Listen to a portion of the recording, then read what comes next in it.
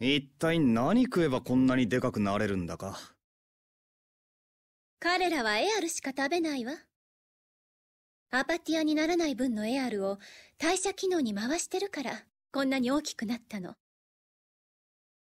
それで生きていけるのか？生きるのに必要なものは全部エアルに含まれてるから。はあ、なるほど。人間にはできない芸当だ。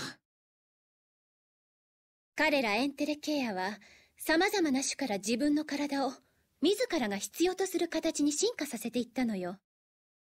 人の生きる何十倍もの時間をかけて。エンテレケイアって一括りなのに、見た目がバラバラなのはそのせいか。ええ。長い年月で蓄積された知恵の量も、人間の比じゃない。人間よりも知恵があんのに、魔術は使わないんだな。エンテレケイアは魔術で身を守る必要がないもの。人間と違ってね。魔術は身を守る以外にも使い道あるだろう。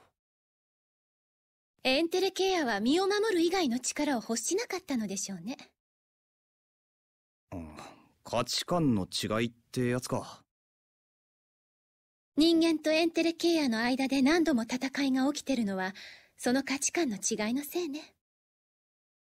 そんな価値観の合わない奴ら同士が手を結ばなきゃならなかったっていう星はみ。一体どんなとんでもないことだったんだろうな。さあ、バウルもまだ若いから、その時のことはわからないし。それでも、もう100年以上生きてるんだろ そうね。